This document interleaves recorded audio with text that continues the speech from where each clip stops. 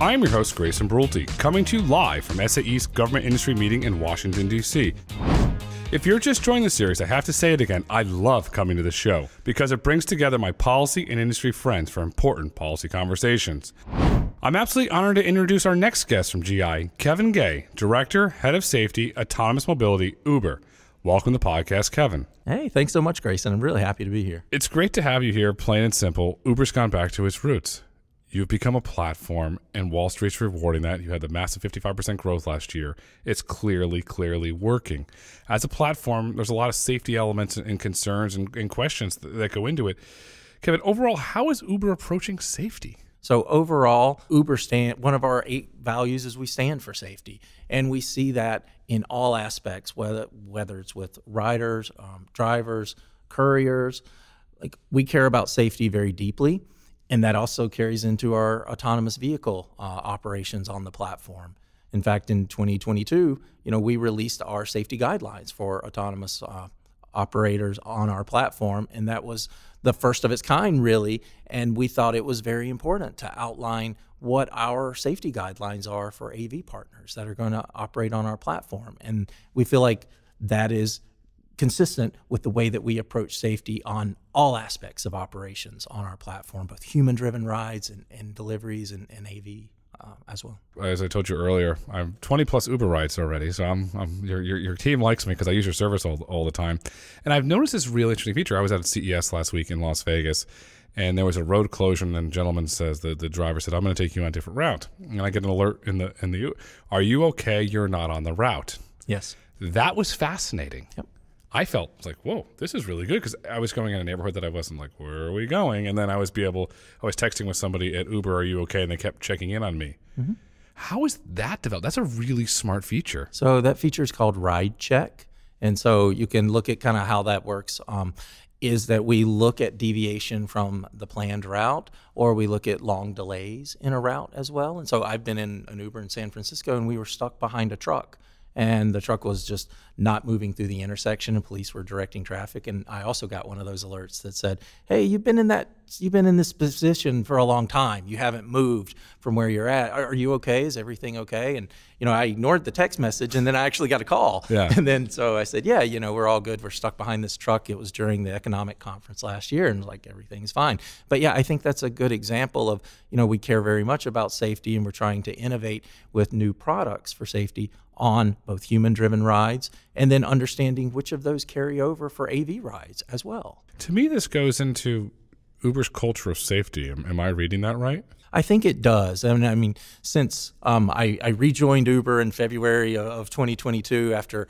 uh, being part of uh, Aurora for a while. And so coming back to Uber is seeing how important safety is. I work with our uh, global safety teams that uh, are responsible for safety across the entire uh, world, and it's it's really great to be in an organization that cares so much about it, and that that certainly like magnifies uh, the work that I do because it's very clearly uh, a priority across our company that not only AV rides. Uh, but human-driven rides, really, we have the safest platform is, is what we want. I mean, you publicly stated in a lot of your documents, Uber's a hybrid platform because you you have both um, human drivers and you have autonomous vehicles. Are there safety teams on both sides? And if so, do you collaborate to do best practices together? That's right. There are. And there is certainly a large global safety organization that looks at all aspects of human driven operations, whether it's rides or deliveries on our platform.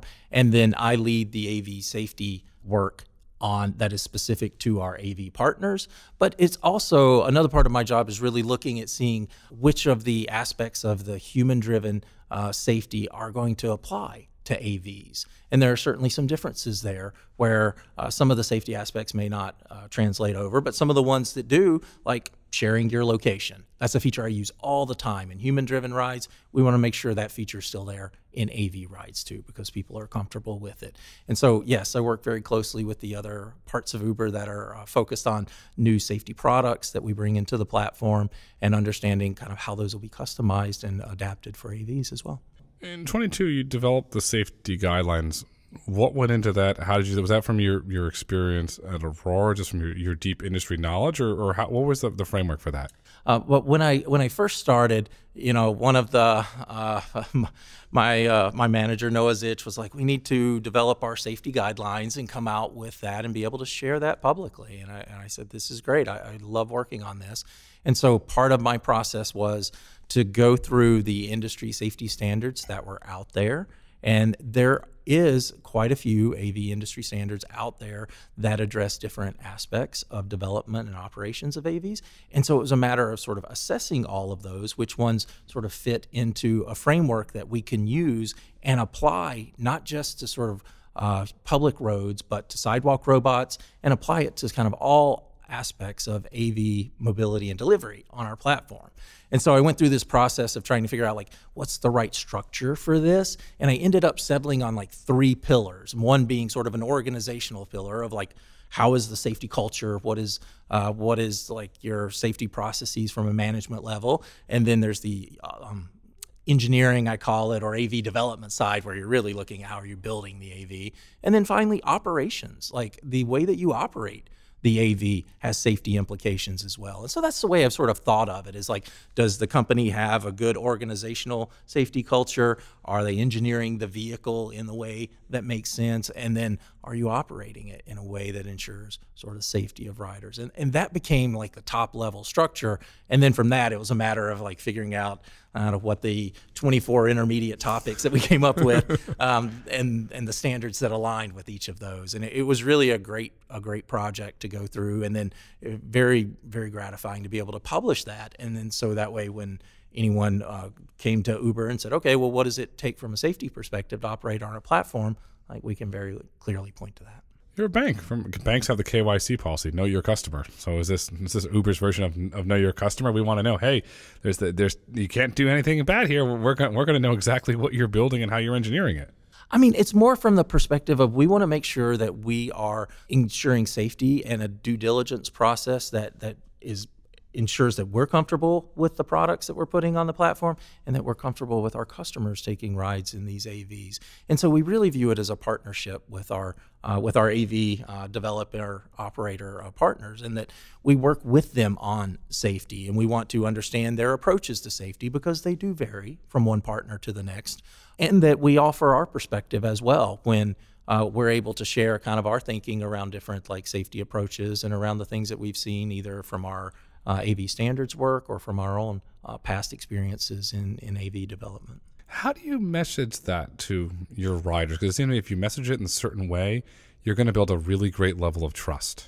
Yeah, that's the really interesting thing about doing about having a hybrid network is we're able to like introduce sometimes this could be a person's first ride in an AV and maybe they're not sort of an early adopter who sought out AVs previously but they're in Phoenix and they've said, I just want to go from here to there. And it's and the app would, uh, if if conditions are right, would match them with an AV, and then they would actually surface it to them in the app and say, Hey, you've been matched with an autonomous vehicle. Here's some of the specifics of that. Do you want to take this ride or not? And we give them the chance to opt out, but we offer them education and we show them in the Learn More section of the app. Here's what it means to take a ride in an autonomous vehicle. What type of return rate do you get? So let's just say a customer went from uh, Phoenix Sky Harbor to, to downtown Phoenix or from um, downtown Phoenix to Scottsdale. Do you see a very high return rate in the app said, wait a second, Uber, no, no, no. I want to go on the I want to go in the autonomous vehicle. I want to go in the autonomous vehicle. Are you seeing any sort of that data there? I mean, I think I think we're happy overall with the rate at which customers are choosing to take autonomous vehicles. And I think that's really what we're looking for is to understand that our customers want to be in these vehicles and are happy uh, with the experiences that they have there. And so that's something that we're we're definitely monitoring closely that that opt-in rate, and we think that so far we've seen very positive results from that, and think it's great. If you look at the industry as a whole, you're the the largest delivery ride platform in the world. I view you as the front line of, of public trust of developing it for the the entire industry because you have that frontline communication. Uber's on my phone; it's on millions of other individuals around the world's phone. Does Uber value that ability to, to build that trust for an for an entire industry? Absolutely, and I think that's why we're very thoughtful in our approach, and that's also why you know we communicate with our customers and give them a choice. And so they this when they're when they're presented with a ride with an offer to ride in an AV, they may choose not to do that now, and we want to make sure that we preserve that trust, and that later on, when maybe they're more comfortable with riding, and they they choose that product. But I think ultimately, what we really want is this to be a successful category of uh, operations on our platform, and we are very conscious of the role that we play in consumer adoption, I guess, or public acceptance of of this. And in a lot of cases, it's also you know when people take a ride in an Uber and they request uh, a ride on an Uber, they don't think as much about which AV or which type of AV it is. They, they really associate it with Uber and that I took a ride in an Uber and it, it was the experience I wanted or, or it was not. And so we, we care very deeply about that and uh, ensure that we're to the best that we can give our customers magical experiences we do so, AV or not. It's good for the brand. Uber's a verb, and there's there's no other way to describe it. You are, you are a verb, so that's the the passenger moving a person from point A to point B. How about on the delivery side? So you have the, the partnership with Serve Robotics. You have the the Uber Eats business that just seemingly all it does is grow, and you're running uh, Motional in Santa Monica some Uber Eats deliveries there. How does it work from from a delivery standpoint? Yeah, so the way it works, so let's just take a sidewalk robot. You know, on the on the delivery side, when uh, a, a, delivery is matched with a sidewalk robot, you know, the, the robot goes to the merchant, and then the merchant is able to bring the food out and place it in uh, the sidewalk robot and have it, the, the robot locks and drives in tran- takes the vehicle uh, takes the food on the sidewalk to the customer uh, that it's delivering to, and then the customer sees a notification that you know, hey, your food's arrived. Uh, please come outside pick it up. They come outside, pick it up, open the uh, verify uh, pin, and then open open the robot and take their delivery back inside. And so that's actually one of the key criteria for matching with um, with a robot delivery is certainly they need to be able to come outside and pick up the delivery versus uh, having it left at your door. And so that's one of the characteristics we use certainly in matching the right trip um, and the right delivery to the right supply. From a safety perspective, op- if it was just term, operating on a sidewalk is a different ODD than than than driving down. I'm going to give you a Walt Disney term, Main Street, USA. It's a completely different op- uh, operating domain. From a safety, how do you develop for that? Because we've seen videos of let's call them bad actors or, or not nice actors that do silly, stupid things. How do you plan for that from from a safety perspective? Since you're operating on a sidewalk, you're not operating on a street. Yeah, so I think from a safety perspective, a lot of the same principles still apply from the top down. Still look at organizational safety, still look at the operational safety, and still look at how the robot's engineered. And so some of the things that you look at on sort of how does the robot perform around road around um, sidewalk users? How does it perform around around children or pets or people with mobility assisted devices? Those types of scenarios still have to be tested by uh, the developer of the sidewalk robots, and we certainly ask about those cases as a part of our safety review process. Um, and then we also sort of understand uh, broad performance of the robot when operating on the sidewalk. Is it are there reports of you know, um, contact with sidewalk users. You know, what is it? What does the performance look like broadly? And I think that's that's an area that we've had to adapt our framework to cover those because right now there isn't really anything that kind of addresses the sidewalk robot from from the safety perspective. You know, not as much standards work is being done, but I think a lot of the same standards and the concepts there still have applicability on the sidewalk. Um, but that's at a high level, I think how we get there. Let's look at it on sidewalk, but on a different ODD. Um, very popular one: college campuses or large commercial office parks. Different, similar but different ODD. Do you evaluate? Let's call each deployment, um, each instance differently because the those environments are characteristically a lot different. You're on a college campus. College kids do all sorts of interesting things. You're on a business park if you misbehave, bye bye. So you, there's different risk elements there. There are, and there are different environments that these robots operate in. I, I will say the serve robots operate in LA, and that is a, a difficult environment in some aspects of operating with sidewalk obstructions and other. Uh, uh other things that they experience there make it very unique. But to answer your question very specifically, yes, we do look at the environment very much so. And you know certain aspects of the environment like are there intersections? Are you crossing intersections with the robot? That certainly is a little bit different than like some of the college campuses that are maybe super contained and you're on really like internal sidewalks with no exposure to road vehicles. Uh, that's certainly a different uh, level of risk that you're incurring by just you know operating on those sidewalks connecting the different buildings you know from uh, from main campus and all to the the dorms versus actually having to go out on the streets of LA and cross uh, some of the sidewalk areas and the intersections they have to deal with. Are the partners sharing data with you so you can you can validate the safety case? You can get real hard data and you can really understand. Because to me, when you put somebody uh, or a company on your platform, it's the Uber brand. It might be a product of Motional Waymo Serve, but at the end of the day it's the Uber brand because that's who they had the interaction with. That's who they paid the money to. Yeah, and so uh, the thing I want to be clear about is we're not our program is not focused on auditing or assessing every aspect of a partner's safety case or safety approach. There's certainly companies that offer to do that out there, and that's not what we're trying to do. And a partner may choose to engage with those companies to audit or fully assess their internal safety case.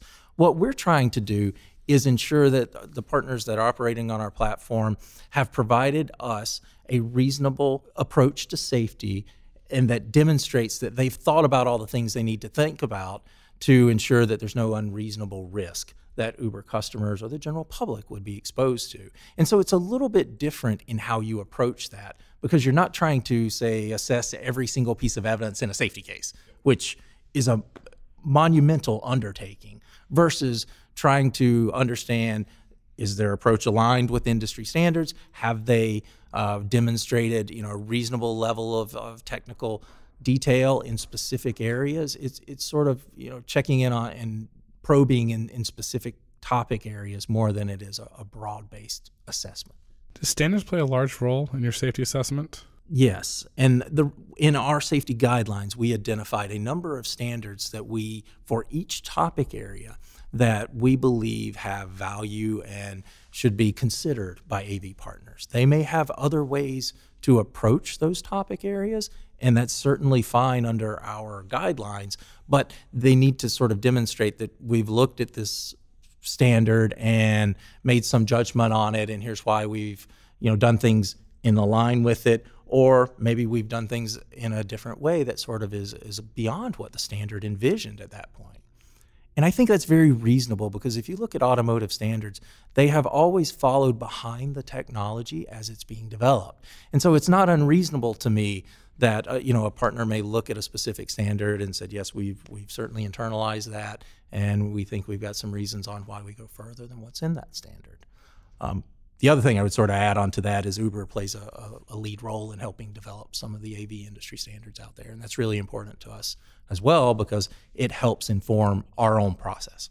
Yeah, you, you do a wonderful job. You're, you're on the SAE ITC AVSC, and you're doing really good work there. So thank you for, for that. Uh, expanding it outside of standards, you're very public. You have a very public relationship with Waymo. Waymo is operating called, if you want to use the Waymo term, rider only in San Francisco, the Phoenix metro area, including Scottsdale. And then Waymo, for the past, say, three months, has been conducting a call the Waymo One Tour in Los Angeles. And Team Waymo, well done on that because I like what they're doing. They're building trust. My background's in the music industry, and I feel that they're on a, they're, they're on a band on tour, and they're going there and they're playing these different venues. Just happen to, to be cities and putting people in vehicles instead of people in arenas to hear, to hear a, a rock band. So well done, Team Waymo, on that as they expand and eventually go rider only in Los Angeles, they have publicly stated without a timeline that they're going to do. From an Uber safety perspective, do you evaluate that ODD? Because having lived there, driving in Los Angeles is different than Phoenix, it's different than San Francisco. There's a lot of uh, edge cases or interesting scenarios, but the most common one is hurry up and wait because if you're trying to get over that 405 at 4 o'clock to go from Beverly Hills to Brentwood, it's going to take you an hour and a half and you're just going to sit. And the Uber asks, hey, you're not moving. Yes, there's something called traffic. We're in Los Angeles. Yeah, I, I can remember. I, I almost missed a flight in Los Angeles once because I left a little bit too late to get to the airport, and it was it was quite a haul there. I was unaccustomed to that level of traffic uh, and congestion. And so, yes, the answer is as our partners expand to new operational design domains, especially new cities with new features and uh, things they have to account for, that is part of our process. So, our process is, is kind of three phased. And initially, we go through a planning phase with our partners where they identify here's the concept of what we're going to do, whether it's mobility or delivery, here's the ODD that fuels what's called a safety plan, where they share with us their safety plan for operating safely in that area. We use that safety plan as a part of our discussions. We have like technical in person discussions, a demonstration of the capabilities of the system, all prior to or before launching on our platform. And so we handle expansions in a very similar way. Now, the difference is we have the benefit of prior operations on our platform. Uh, with a partner like Waymo in Phoenix, and that will certainly factor into the expansion into LA or any other markets if we uh, decide to, to work together in those areas. But it, it's additive in in that way, in that it's not starting from scratch. If we have a partner who's deciding to expand to a new area with us, uh, and we're able to sort of leverage everything we've learned previously and work together to build that safety partnership and collaboration that we that our process helps um, stand up. It sounds what you've described as a relationship based in trust. I think it very much is, and that trust gets built in a number of ways. Like with our partners, it gets built through our interactions and the developments of the safety plan, our technical in person meetings, our expansion discussions. It also gets built through collaboration on development of industry standards. And so, you know, Waymo and Motional and a number of other uh, companies are part of the AVSC. And so we work together with safety teams there. Waymo also uh, co chairs, and I chair the IEEE AV decision making working group all those things in my mind help build trust as well as sort of sharing some of your research and findings and activities publicly too and so i, I think it's all of those together that help do that Collaboration is wonderful. We, we, see a lot of collaboration in AI from a lot of the academics and sharing the, the, the papers, new houses they build their, their LLMs. Waymo, I think it was last week or the week before, put up a really fascinating video on X where they're testing very publicly now the highway driving in Phoenix. And it showed the Waymo vehicle going through, it was a crash scene, and there was a police officer on the right. The cones were out, a broken down vehicle on the left, and boy, oh boy, this vehicle just went through there very smoothly. So Waymo's going to highway speeds. Is that another evaluation through your partnership that you evaluate as part of that trust factor? Yes, I think the so the operational design domain is composed of a number of different constraints, effectively that uh, govern what the system was designed to operate in, and so increasing speed or unlocking new areas of the map that have unique characteristics, those do factor into our process because again through that same way as as a geographic expansion we seek to understand what is the experience going to be like to our customers and what due diligence did our partners go through and what process did they go through to add those capabilities into their system. And so clearly there's validation and verification activities. There's you know virtual testing track testing road testing all those different components. And so from our perspective we want to understand kind of what process did they go through to unlock those capabilities whether it's operating in work zones as you described operating at higher speeds um, or operating in, in totally new geographies. It's kind of the same thought process. Let's give a hypothetical here. I'm staying at a resort in Scottsdale. It's it's, it's in the, the, the ODD, and I need to go to dinner at a restaurant. So I'll take my family to dinner at a restaurant, and I open up the Uber app. How does the Uber algorithm determine if I'm going to have a human-driven driver, or I'm going to have a autonomous vehicle? Yeah, that's a good question. And so what we talked a little bit about earlier is that we have the ability to sort of match the right uh, supply with the right uh, trip. And so the trip characteristics actually really are a big determining factor in the ride use case because we look at our vehicles, our autonomous vehicles located close by, is one available? What is the um, wait time that a rider would have to wait for those vehicles? And then is the trip entirely within the operational design domain? And then, so those factor in as well as eventually rider preference. If they set their preference and say that I would like, you know, additional AV trips, uh, they're able to sort of do that in the ride preference in the uh, user preferences side of the Uber app. All those things sort of go in together, and it's dynamic, right? Like it depends on how many other trips are out there at this point in time, because uh, that's sort of the supply and demand side of things, and we are able to sort of take all that into account and then come up with a solution that points to okay, this trip is going to be served by an AV, this is going to be served by a human rider. And then um, with AV trips, riders certainly have the ability to, to say, no, I'd rather be served by a human driven trip if they have other um, needs that are not communicated sort of in the Uber app. If they need help with the mobility device, if they need uh, you know help with uh, the vehicle, getting in the vehicle or, or, something like that, they may choose to have a human driven. So all those things go in together, and I think that's what makes it unique kind of our hybrid approach. Can riders opt just to take AVs only if they're in the ODD? Is there a feature in the app that they can just say, um, "Hey, Kevin," or sorry, uh, Uber, I, I would just appreciate autonomous vehicle only if it's not available as a as a fallback? Can they opt into that? That is not the way that we've built the technology now. And part of the reason is because we want to be able to have that right match, the right trip uh, with the right vehicle type. And so we ask riders, we give them the option to sort of uh, indicate that they have a preference for AVs, but it is not sort of a forced match, I guess, if you'll call it that way. Instead, you know, we take into account all those characteristics, and including you know where the vehicles are at, are they online, are they nearby, and what other characteristics the trip uh, has of, for that rider. And, and so that's the way we're approaching it. So you're operating a hybrid network. Why was that decision made to operate this hybrid network? Because it you can make one argument that oh Uber should only be drivers and that they don't need to go back into autonomy, but I think it's real it, it it's asset light now and it's it's it's really really smart. Why was that decision made to operate a hybrid network? Yeah, I think the probably the best answer to that is really that we expect there to be human driven and AV rides operating in parallel for a number of years. And so we see the hybrid network as really, you know, the best way to introduce AV technology that right now operates in limited design domains, geographic areas. And so AVs really aren't capable of serving sort of all trips they can service a subset of trips and they can increase supply on the platform. So it seems natural to use them to augment human driven trips. But you know, in the near future, we don't see a world where AVs are going to be able to service, you know, 100% of trips in, you know, a given area. You see the world real. You're being honest. Thank you for being honest. You're right. So let's fast forward to the future. There's multiple Uber autonomous vehicle partners operating in multiple states, operating in multiple domains, multiple companies. And let's fast forward some point in the future where we have bespoke vehicles where they they partner with an OEM, they they built their own vehicle from the ground up. How does that change the safety case? Because if you're Waymo's operating on, on the Jaguar I-Paces today, it's not hard to get your hands on an I-Pace manual from from JLR to find out all the, the okay, what's the redundancy and all these other things. But if you're building a bespoke vehicle from the ground up, either with a global OEM or on your own, it seems that there's a lot of questions or research or learning that has to go understand. So, how do you evaluate those vehicles eventually going on the platform?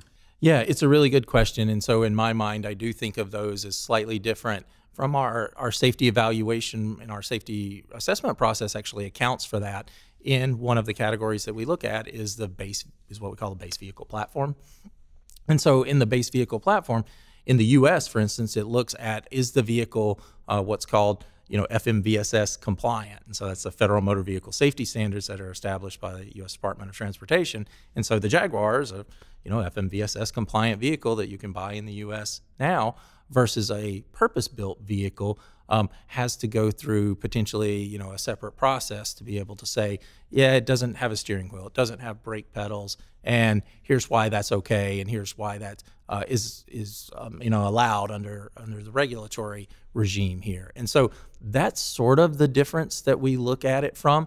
And it, it kind of comes down to there is a federal agency that looks at uh, these purpose-built vehicles and there's an exemption process they have and other processes they have. Uh, and part of our safety assessment framework is to say, you know, has our partner secured all the necessary approvals that that they need to operate that vehicle type? And so I think it just it looks a little bit different for purpose-built vehicles. But then all the other aspects that we talk about of the automated driving system, you know, those carry over in many ways from whether it's a purpose-built vehicle or whether it's a, a conventional vehicle uh, in the, the way that you approach validation and verification, your safety culture, the way that you're operating the vehicle. Most of those actually carry over and aren't really affected by what vehicle the kit gets integrated into. Uh, and so that's where we again focus a lot of our attention is really into how that ADS, that automated driving system, is developed. As you develop the guidelines in, in, in your framework, what role does redundancy play in that? Because if you're going to not have a human in there, you have to have redundancy. To know a lot better than I, but it seems that you have to have multiple sources of redundancy. What role does that play as you develop the framework and guidelines? It, it's actually that is getting what that's actually sort of getting at is how is the system going to behave in the event that there's a fault or a failure, and say there's an Uber rider in the car and there's a situation that, the AV is unable to deal with, or there's an internal system failure that it has to deal with. The way we think about it is how is what is the Uber rider going to be ex- basically experiencing is the vehicle going to stop in lane? Is the vehicle going to move out of the lane of travel? When the vehicle stopped in lane, how do we ensure the safety of the rider when they're in the vehicle? Or if the vehicle has to move over and move out of the way, or if the vehicle is able to get to a parking lot or other areas. And so we're not necessarily looking at like, do you have redundant steering, redundant braking, and sort of assessing at that very technical level that I think the our AV partners are absolutely doing. What we're looking at it as a little more holistically in what's going to happen in the event that there is a fault or a failure or an ODD changes dramatically and it goes from perfectly sunny to uh, you know pouring rain and you're basically the system's not able to operate in that ODD change. How does it respond to that? And because we're we're more concerned about it from sort of the system level and from the user perspective, and, and that's what our process really focuses on. That's really smart because Arizona can get a flash flood. It's very, or I use the monsoon. I mean, it comes down, it's not fun, and it comes down really hard for 10, 10 minutes. So let's use that scenario. The uh, I'm not going to name names here, but the autonomous vehicle pulls over the side of the road very correctly, very safely. The monsoon rain passes.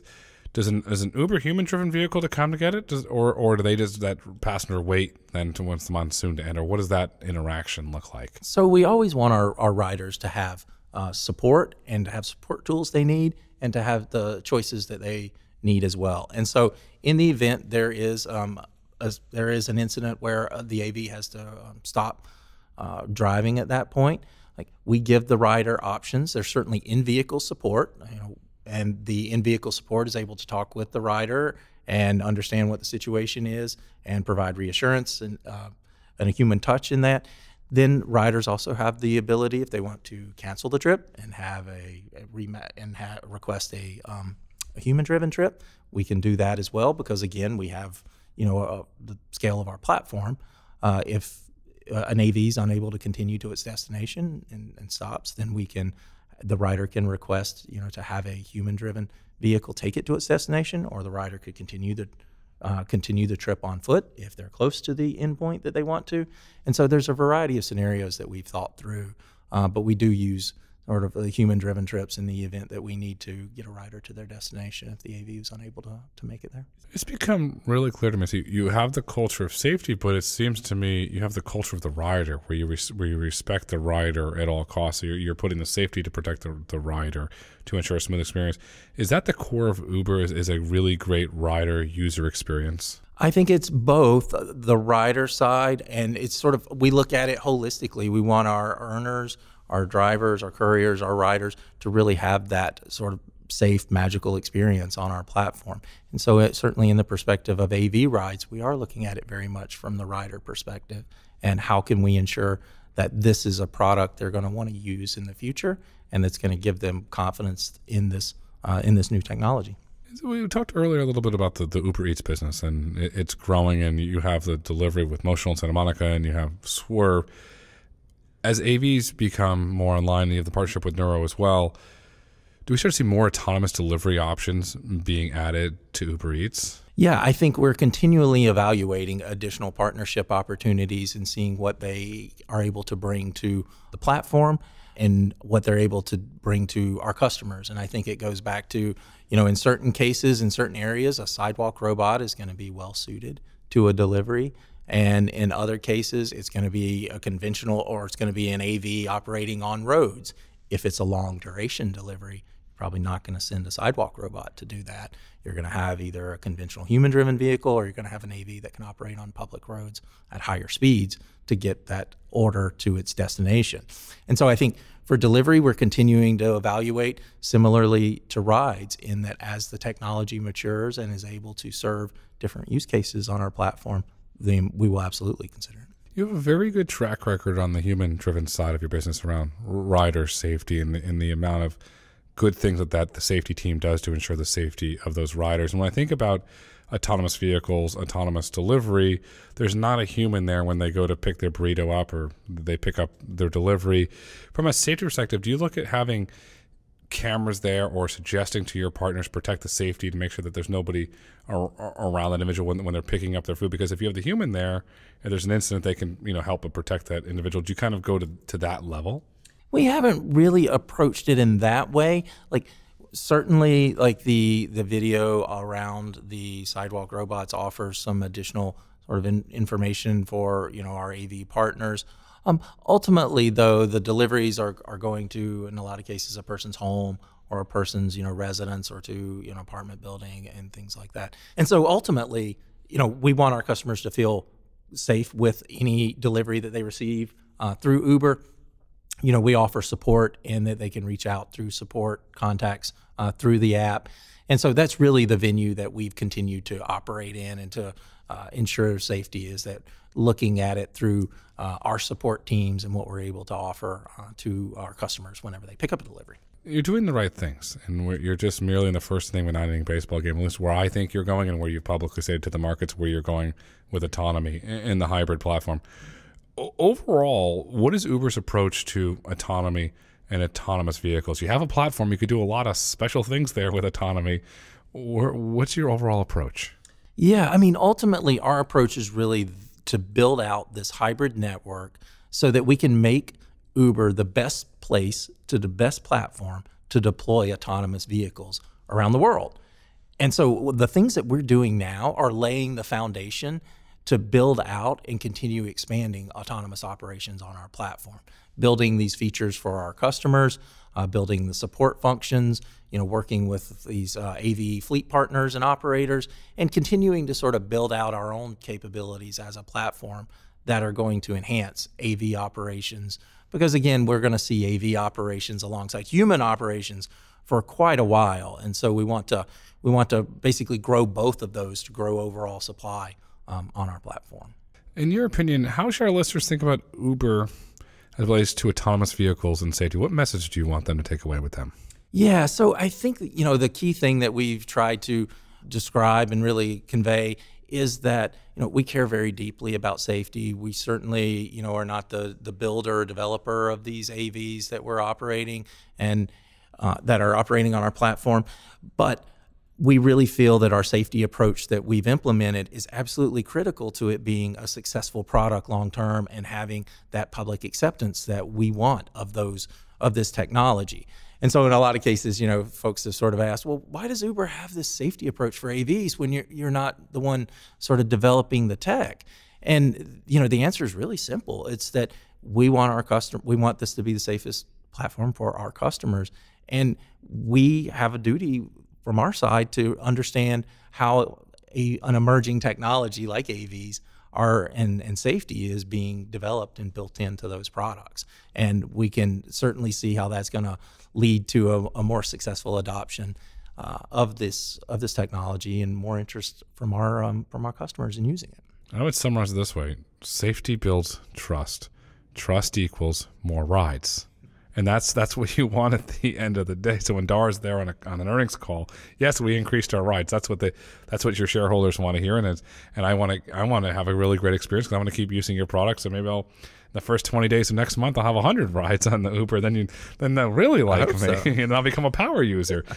Kevin, this has been great, and I really thank you for shedding this really great insight into Uber and this approach to autonomous vehicle safety as we look to wrap up this insightful conversation, what would you like our listeners to take away with them today? Yeah, no, this has just been great. I really appreciate the opportunity to talk about how Uber thinks about AV safety. And I encourage, you know, our listeners, if you're in the Phoenix area and you're able to hail uh, an AV ride through the Uber platform, I absolutely would uh, would absolutely encourage that and hope people get out there and are able to uh, experience AVs for themselves through the Uber platform go to Phoenix, fly to Phoenix, good for the tourism economy. Open your Uber app, hail a Waymo, experience the future. Today is tomorrow, tomorrow is today. The future is Uber. Kevin, thank you so much for coming on SAE Tomorrow Today. Oh, thank you so much, Grayson. It was an absolute pleasure.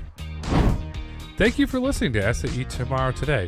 If you've enjoyed this episode and would like to hear more, Please kindly rate, review, and let us know what topics you'd like for us to explore next. SAE International makes no representations as to the accuracy of the information presented in this podcast. The information and opinions are for general information only. SAE International does not endorse, approve, recommend, or certify any information, product, process, service, or organization presented or mentioned in this podcast.